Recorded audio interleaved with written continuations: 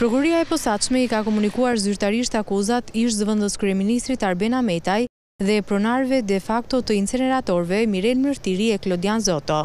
Tre të pandehurit që ndodhen në arrati janë njohur me akuzat përmes avokatëve të tyre këtë të enjte. Avokati Enrik Ligori u paraqit si përfaqësues i Ahmetaj, teksa ky i fundit akuzohet për pastrim parash, fshehje të pasurisë dhe korrupsion në gjashtë episode. Gjithashtu SPAK i komunikoi akuzat Mirel Mërtirit dhe Klodian Zotos përmes avokatëve Klodian Skënderi dhe Ardian Leka për veprat penale korrupsion në bashkëpunim me Arben Ahmetajn dhe pastrim parash. Në dosjen hetimore thuhet se Ahmetaj ka përfituar dhurata dhe udhëtime të paguara nga administratorët e inceneratorëve.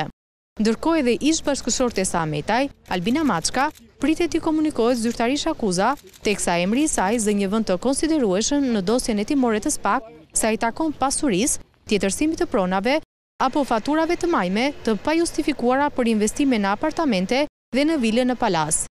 Ahmetaj, Mërtiri e Zoto janë shpallur në kërkim ndërkombëtar pas urdhër-arrestit të lëshuar nga SPAK për aferën e inceneratorëve. Zoto e Mërtiri janë dënuar më herët nga Gjykata e Posaçme në mungesë nga procedimi i bërë më herët për aferën e inceneratorit të Elbasanit me nga dhjetë vite secili.